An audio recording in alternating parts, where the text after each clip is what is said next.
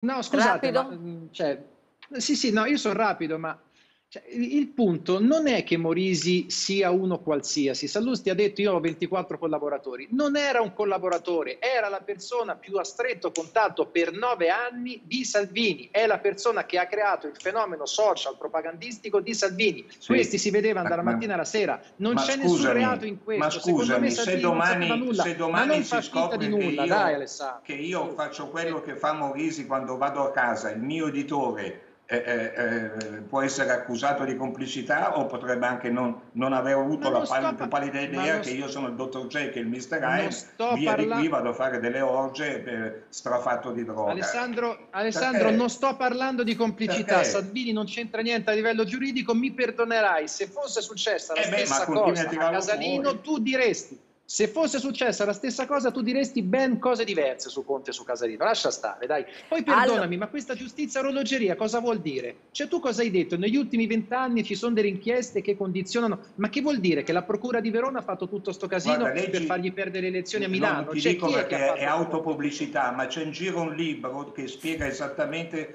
come sono state Che, che sarebbe il tuo, orologeria, da eh, chi le ha Alessandro Allora, Sì, la narrazione. Cioè, allora, vabbè. allora, bene. La Procura allora, di Verona vuol far perdere le elezioni a Salvini. Ho capito, va bene. io vorrei tornare a Giovanni Di Lorenzo. Eh,